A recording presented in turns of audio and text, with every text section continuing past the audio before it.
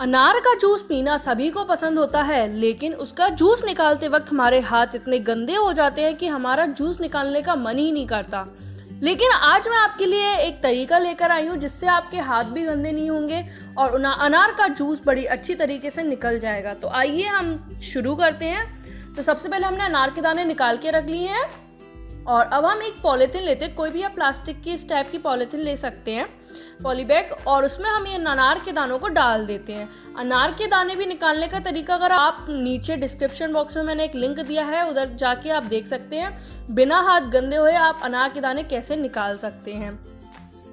ये हमने अनार के दाने, कुछ दाने अभी भर लिए हैं इसमें और इसे अच्छे से हम बंद कर लेते हैं इस पॉलीथीन को। फिर हम रोलर पिन लेते हैं, यानी कि बेलन लेते हैं और उससे इस तरीके से रोल करते जाते हैं, इसे प्रेस करते जाते हैं।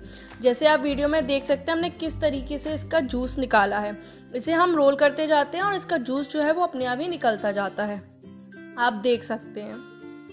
इस टाइप से हम अपना अनार का जूस निकालते हैं और हमारे क्या हाथ भी गंदे नहीं होंगे और बिल्कुल अनार का जूस निकल के आएगा। अभी आप वीडियो को एंड तक देखिएगा, आपको समझ में आ जाएगा कि कितना कैसे हमने अनार का जूस बिल्कुल अच्छी तरीके से निकाल के तैयार किया है।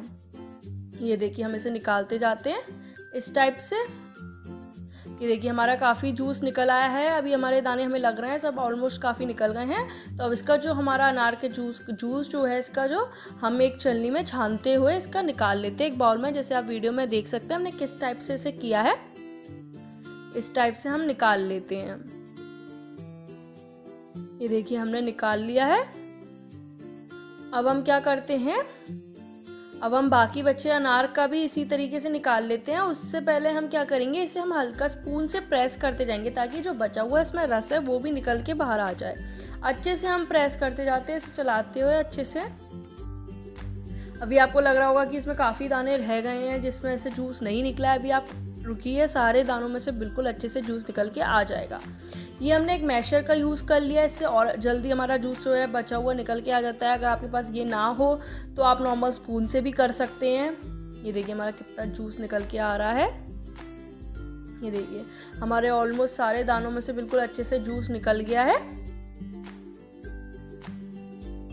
अच्छे से हमने इनमें से जूस निकाल लिया है और इसे अब हम एक प्लेट में रख लेते हैं। इसी तरीके से हम सारे बचे हुए अनार का जो है वो जूस निकाल के तैयार कर लेते हैं। और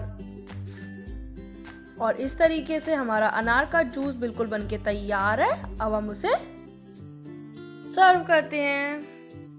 उम्मीद करती हूँ वीडियो पसंद आई होगी। वीडियो को लाइक शेयर कमेंट ज़रूर कीजिएगा और अभी तक आपने अगर चैनल सब्सक्राइब नहीं किया है तो रेड बटन प्रेस करके कीजिएगा चैनल को सब्सक्राइब उसके पास आता है एक बेल आइकन उसे भी कर दीजिएगा प्रेस ताकि आपके पास आ सके लेटेस्ट नोटिफिकेशन बाय